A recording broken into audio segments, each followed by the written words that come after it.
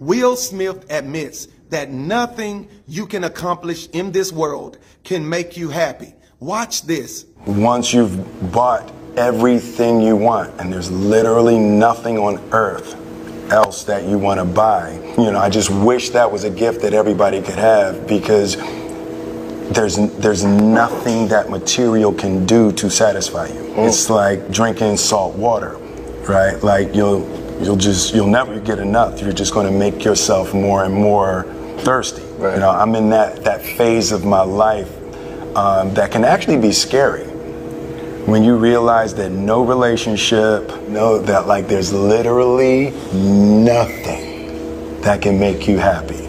You got to make happy in here with none of that stuff. Mm. Will Smith admits that nothing in this world that you can accomplish can make you happy. See, sometimes people have to go through things in life before they face reality. And do you all remember when Will Smith sat down at the red table while Jada confessed to him about her entanglement? This had the world talking. But the point that many people missed is that Will and Jada agreed to have an open marriage. And all the garbage that it created is spilled out before the world. And then what did you do, Jada? Well, you know, I think from there, you know, as time went on, I got into a different kind of entanglement. Mm-hmm. With August. And according to reliable sources, Will and Jada decided to have an open marriage because they wanted to be happy. An entanglement? Yes.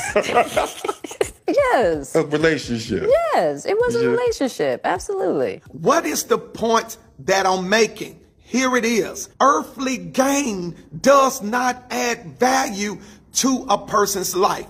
Now let me prove it.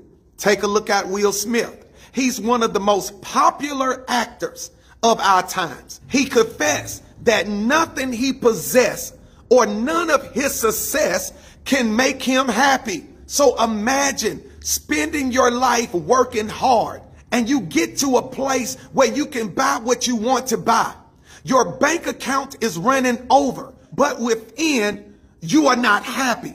And let me take it further. There are some people who are not as successful as Will Smith, but they have peace, they are happy, and they are thankful because they realizes resources is not the source. However, these celebrities and many other people, they are chasing the resources. And now after gaining the things of this world, they realize they are not happy.